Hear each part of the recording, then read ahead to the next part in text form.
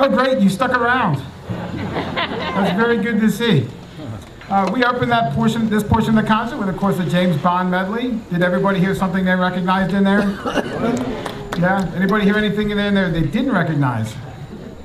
Okay, well, you have a homework assignment. You have to go watch all the James Bond movies. Because it was in there, I swear, somewhere.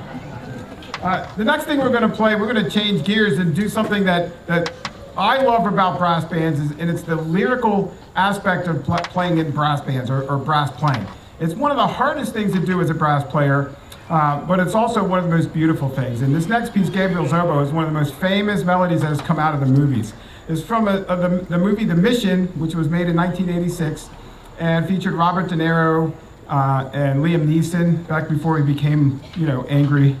Um, uh, and uh, the composer, Ennio Morricone, uh, has over 400 film, film, TV, and, and, movie credits to his name as a film composer. He's one of the most influential film composers of all time. So please enjoy Gabriel's oboe.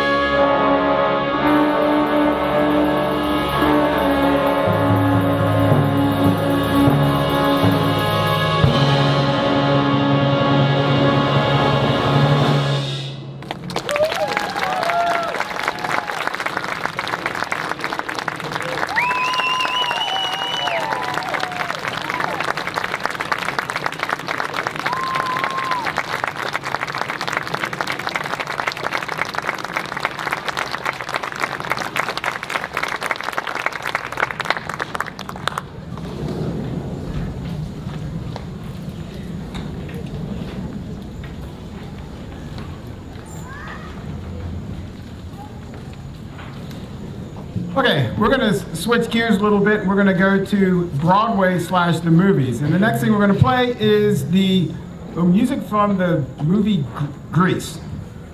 Okay? Um, every time I start working on what am I going to say about this, I try to find something that's interesting about this. And there's a couple of things that I found out that was interesting about Grease.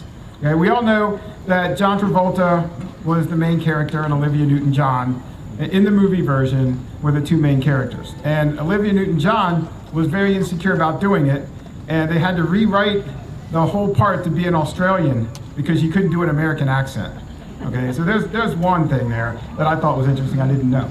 Um, the original person that they were looking for for Danny Zuko was Henry Winkler.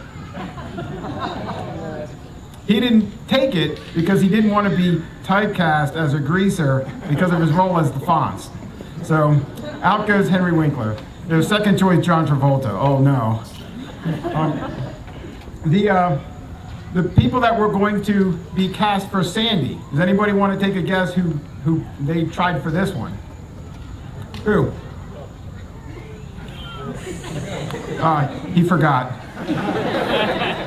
All right. Well, would you believe Carrie Fisher? No. Princess Leia as Sandy? Nah. What about what about Marie Osmond? Nah. No, she she actually turned it down because it, the the character actually turns a little bit greasery, and that was not going well with her. um, now, here's the other one. This is actually the more fascinating one. The role of the teen angel, which was played by Frankie Avalon. Any guesses who they offered that to? One was Donny Osmond.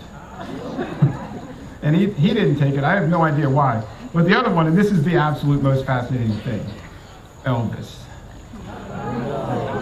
He didn't turn it down, he just flat out died. so they had to get somebody else. Is it too soon? Too soon? I mean, if you're, if you're committed to not doing a movie, that's the way to do it. All right, so we hope you are thoroughly entertained and enjoy the music from Grease.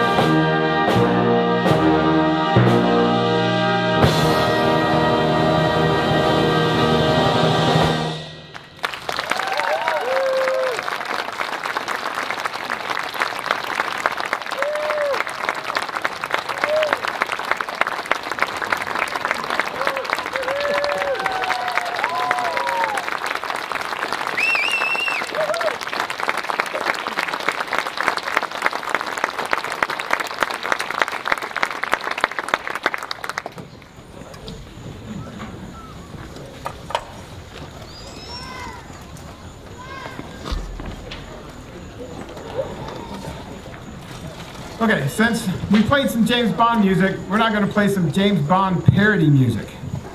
And that, of course, is going to be the theme from Austin Powers. This is uh, Quincy Jones' Soul Bossa Nova. It's a fun tune. It was written in 1962. Um, and we're going to welcome back to the stage for a little bit of a solo feature here with uh, Zeb, our soloist. So please welcome Zeb back for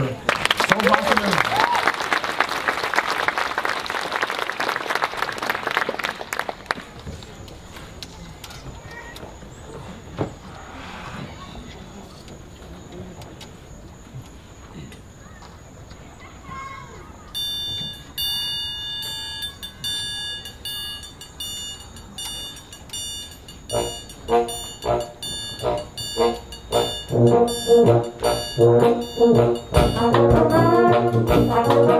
you.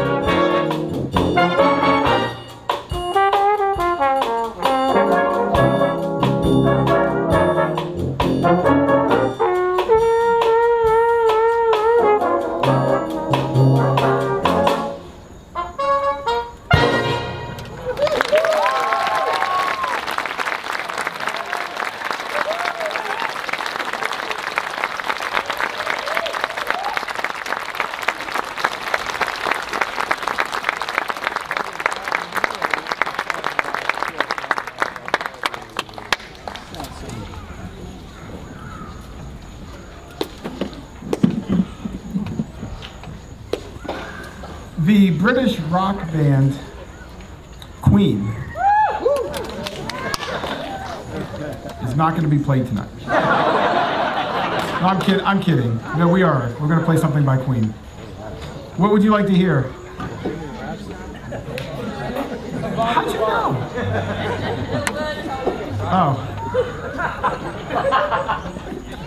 Yeah, so we are we are going to play Bohemian Rhapsody by the rock band Queen. Uh, this is a very very strange piece of music for the rock band genre. Um, it is uh, a ballad, and then it's opera, and then it's heavy metal or hard rock. Okay, they the uh, true meaning of the lyrics is is yet known to only the composer, and he's not telling. Probably for the same reasons Elvis isn't telling why he turned down Grease. Um, this is also the feature sound or feature song in the movie Bohemian Rhapsody, named after Bohemian Rhapsody, and uh, and this uh, piece lends itself well to brass band because of its lyrical uh, nature and because of the many many um, layers and overdubs that they had to do to record it. So there's so many voices that are in it. Uh, I can imagine after figuring out how they recorded this, how they ever performed it live, because of how many players are in the band to sing it and how many voices are actually on the recording of it. So um, we have enough voices to do it, um, so we're going to. This is Bohemian Rhapsody.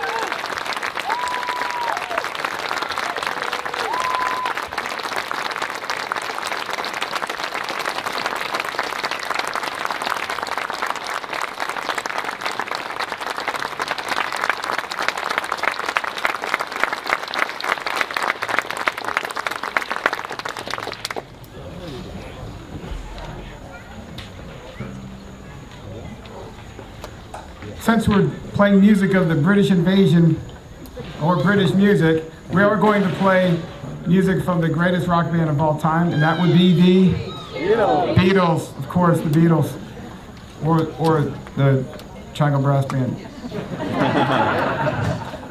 uh, we're going to play the Beatles. Uh, the tune we're going to close our concert with is "I Want to Hold Your Hand," but we are going to redub it "I Want to Fistball." Since we're that's what we are in the times are. So thank you for coming to our concert. Please enjoy our last selection from the Beatles.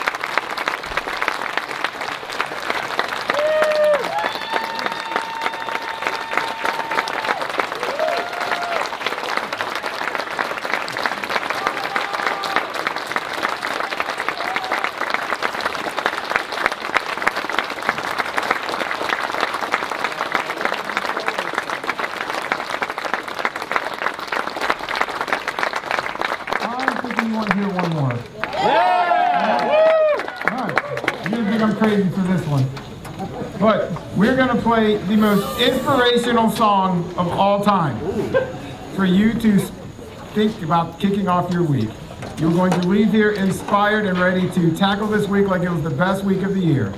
So thank you so much for coming. This really will be our last one, but have a great week and uh, thank you for coming and sharing this evening of music with us. Here's our last piece. If you don't know it, you're going to have to Google it.